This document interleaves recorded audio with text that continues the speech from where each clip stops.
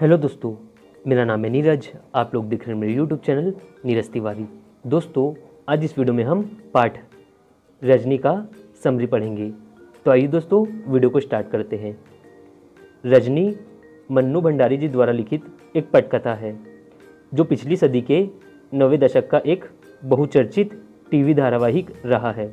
बासुर चटर्जी के निर्देशन में बनी इस धारावाहिक की हर कड़ी अपने में स्वतंत्र और मुकम्मल होती थी और उन्हें आपस में गुथने वाली सूत्र रजनी थी। हर कड़ी में यह जुझारू और इंसाफ पसंद स्त्री पात्र किसी न किसी सामाजिक, राजनीतिक समस्या से जूझती नज़र आती थी।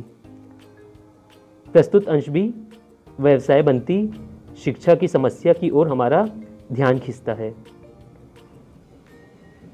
पटकथा की शुरुआत लीला के घर से होती है, जो रजनी की पड़ोसन है।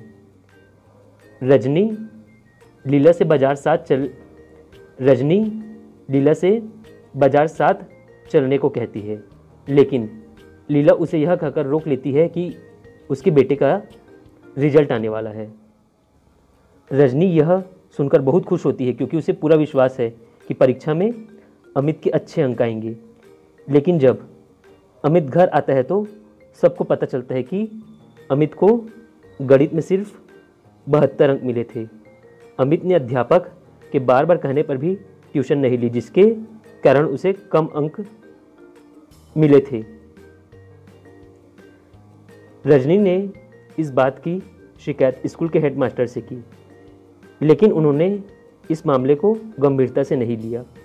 इसमें स्कूल की कोई ज़िम्मेदारी न बताकर इसे अध्यापक और छात्र के बीच का आपसी आपसी मामला कहकर टाल दिया। रजनी के पति को यह बात पता चली तो वह रजनी को इस मामले में न पढ़ने की सलाह देता है, लेकिन रजनी किसी की नहीं सुनती। रजनी ने इस बात की शिकायत स्कूल के शिक्षा निदेशक से की। वहाँ भी उसकी बात कोई नहीं सुनता। शिक्षा निदेशक शिक्षा निदेशक ने रजनी से इस बात की शिकायत स्कूल के हेडमास्टर से करने की सलाह दी।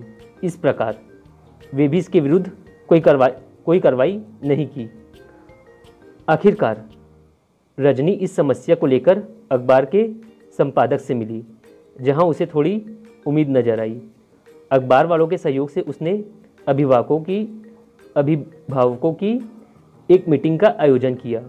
वहाँ उसने प्रस्ताव दिया कि अध्यापकों द्वारा ज़बरदस्ती ज़बरदस्ती ट्यूशन लिए जाने से संबंधित सख्त से सख्त नियम बनाए जाए, नियम बनाए जाने चाहिए।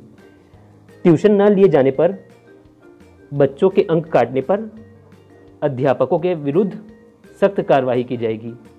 बोर्ड रजनी के इस प्रस्ताव को मान लेता है। इस प्रकार रजनी ने जिस उद्देश्य के साथ यह आंदोलन शुरू किया, यह यह आंदोलन शुरू किया था, उसमें सफल होती है। तो दोस्तों, यह थी आज की समरी वीडियो अगर अच्छी लगी होगी तो प्लीज़ इस वीडियो को एक लाइक ज़रूर करें। और दोस्तों, मुझे कमेंट करके बताएँ कि आप लोगों को यह वीडियो कैसी लगी। और दोस्तों, मेरे चैनल को भी सब्सक्राइब कर ले, ताकि जैसे ही कोई नई लेटेस्ट वीडियो मैं अपलोड करूँ तो आप लोगों को नोटिफिकेशन मिल जाए। थैंक यू फ्रेंड्स जय हिंद. वंदे मातरम.